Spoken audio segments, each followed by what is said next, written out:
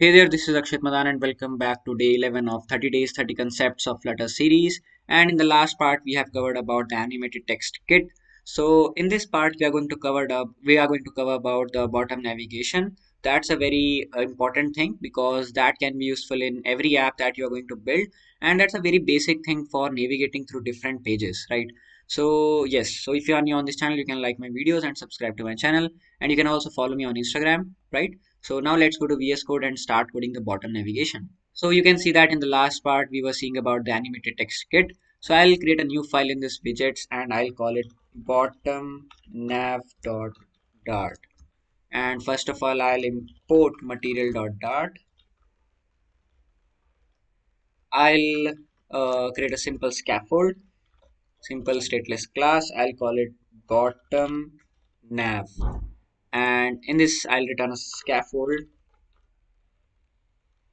And I'll return an app bar. App bar will be called uh, let's say bottom nav.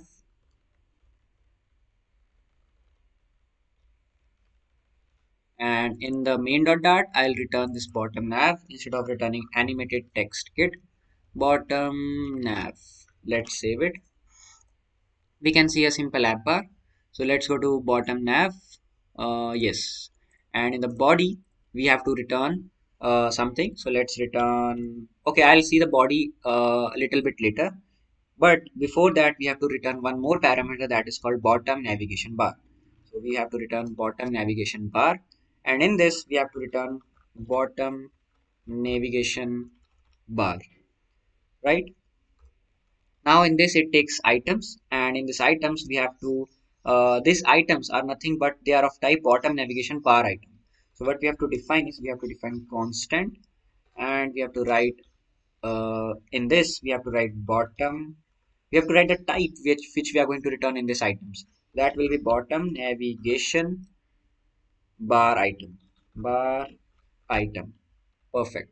So you can return a list and in this list we have to return uh, bar items. So let's return and so let me just return bottom.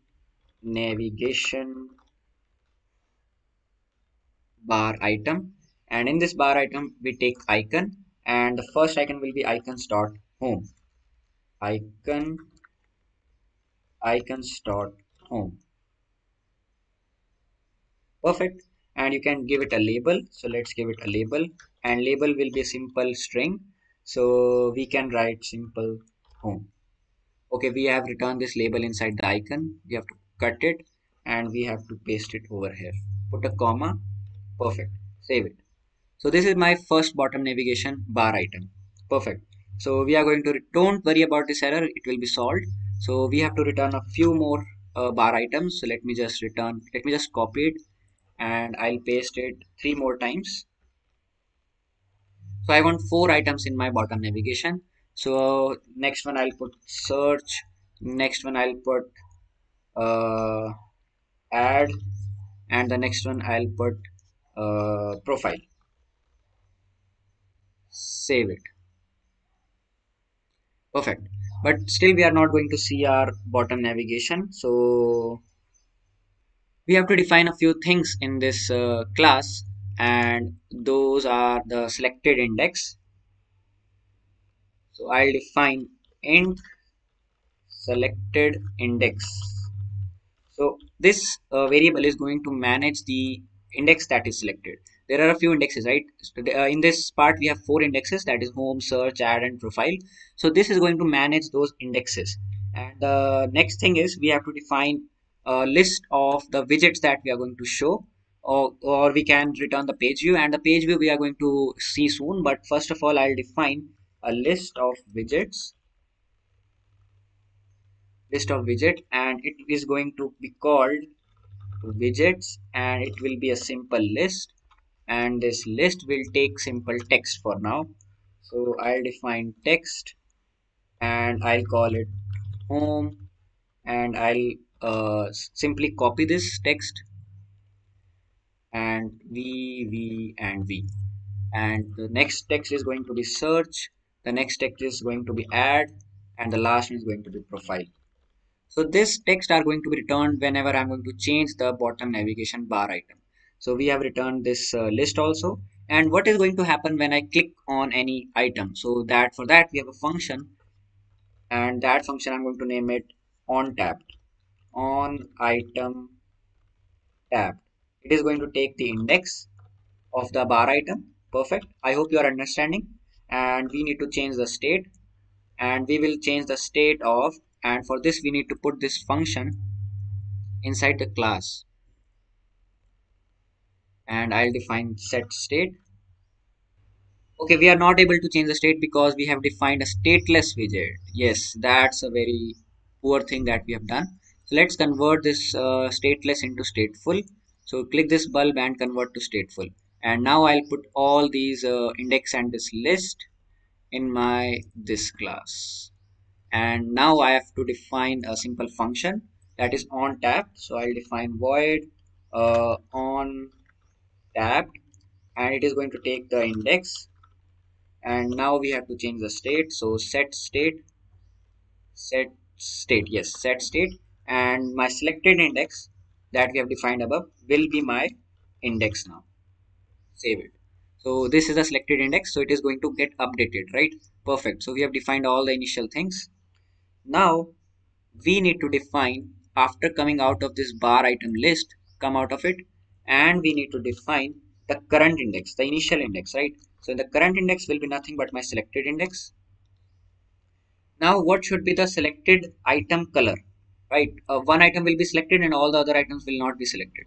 So I have to define selected item icon color or you can define item color. So let's make it colors dot green, right? and unselected color. So unselected color will be let's say colors dot gray right? So now you have to define on tap. So we have on tap. So what should happen uh, when I click on any icon? Nothing but on tap function should be called. So we have on tap function. Just uh, call it. Save it you can see the bottom navigation and I need to change the icons so second icon will be my search and the third icon will be my add. Fourth icon will be person. That is for profile. Save it. You can see all the different icons. And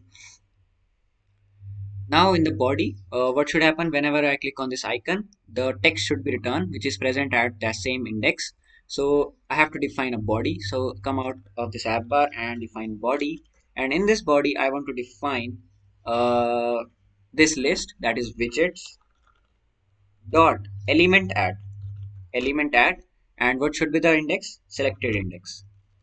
Selected index.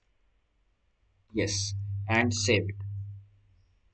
Uh, let me just wrap it with the center yes you can see home over here. And when I click on search you can see search over here. When I click add add is there. When I click profile profile is there. But this is how we are working with simple text. But in the real case whenever you are making real apps you're not going to return the simple text. You are return you will be returning the pages right? Different pages. So for that we need to work with the page controllers. Or we can say the page views. So let's do it. So for that uh, I'll just comment this list because this is not required. And I'll define page controller. Page controller is equal to page controller. Put the semicolon. So we have defined this page controller and this controller is going to control all my pages right so in the body in the center it will be page view. So let me just remove this and it will be page view now. Page view. It takes a controller. So I'll give it a controller of page controller that we have defined above. And the next thing it takes the children. So in this children you have to define different pages.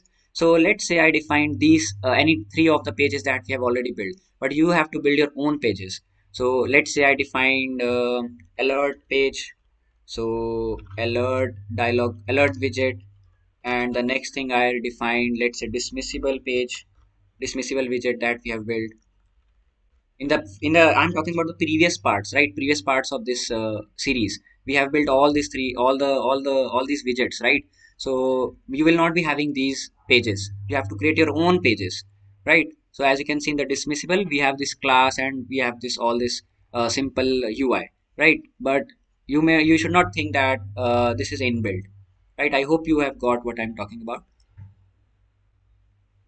Now let's define one more. Let's define rows calls rows calls and the next uh, page that we worked with let's say snack bar widget yes. So let me just save it. And uh, one more thing. Yes we have already defined uh, app bars in those pages. So i'll remove this app bar. But you can see that uh, i'm able to see uh, the pages but it is not dynamic. Whenever i click on any button it is not changing. Why? Because we are not uh, defined any we have not defined any functionality for changing the pages. For that we need to put something in this set state. So right over here page controller page controller dot jump to page and it will take the index. Save it. So when i just save it so now when i click on any other icon you can see that it is working perfectly. Fine right? So like this you can work with your uh, and this is not the error in our app. This is the error in the rows calls because i wanted to show you the functionality of wrap right? So this is not any error right so you can see it's working perfectly fine. So i hope you like this video. I hope you are comfortable with bottom navigations now. So if you like this video you can hit the like button. You can subscribe to my channel. You can uh, follow me on instagram and linkedin. So till the next video keep coding keep innovating and thanks a lot